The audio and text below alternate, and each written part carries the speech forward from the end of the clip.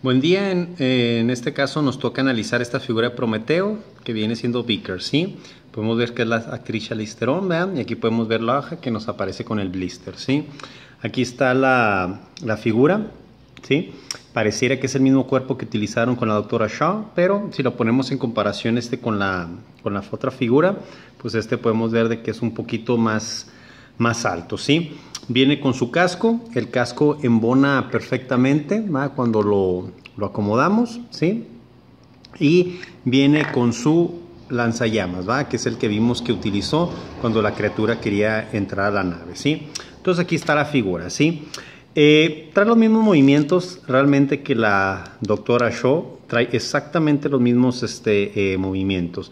En cuestión de esculpida, realmente sí se esforzaron, sí se parece eh, a la actriz Charlize Theron, pero en este caso lo que no le favoreció pues es la pintura, ya que utilizaron un color, una, un matiz muy muy muy brillante, entonces en comparación también con la otra figura de Shaw, este color se ve muy muy muy brillante y encubre ciertas este, arrugas que pusieron en la figura al momento de, de esculpirla.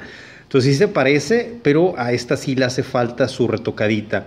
El cabello es de un material este blando, ¿va? También vemos que trae este, eh, una colita, ¿sí?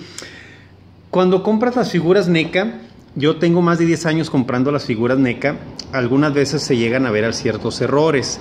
Incluso si no tienes cuidado de ponerlas en agua tibia cuando las sacas pueden romperse. En este caso no fue así, pero pues podemos ver aquí algo raro, ¿sí? En las piernas. Una pierna se ve más corta que la otra, ¿sí? Podemos ver aquí cómo se ve la abertura y aquí no. Entonces al momento sí tiene la articulación y todo, pero esta pierna se sale, ¿verdad? No apareció bien. Y uno dirá, bueno, pues nomás se la pega así ya, ¿verdad? Al cabo está respetado el movimiento y todo. Sí, realmente sí, pero esta pierna como que era de la doctora Shaw, ¿verdad? Porque es más corta que la otra. Cuando hacemos esto, vemos que es diferente. Vean este cómo se ve aquí y vean el tamaño. Sí, realmente debería más o menos como quedar como por aquí, pero pues vemos que de todas maneras la articulación se ve eh, diferente, ¿sí? Realmente pues este es un problema de calidad o de ensamblaje que vemos con las eh, piezas NECA, que en las páginas pues vemos que hay muchos problemas Realmente a mí con los 10 años que yo tengo coleccionando jamás me había pasado esto, así que pues no es la gran cosa, ¿verdad? Se puede hacer algo para arreglarlos. Hay otras personas pues que se dicen, no, yo invertí mi dinero en la figura y pues me salió muy mal, etcétera, pero pues cada quien. Realmente eh, es una buena figura que se le puede dar unas este, eh, retocaditas. Tiene exactamente los movimientos de la doctora Shaw. Entonces si los quieren analizar, pues vean el, el video este previo. Eh, ¿Recomiendo esta figura? Claro que sí, más si eres fan pues, de la saga Prometeo y más pues, si eres fan de la actriz Alisterón.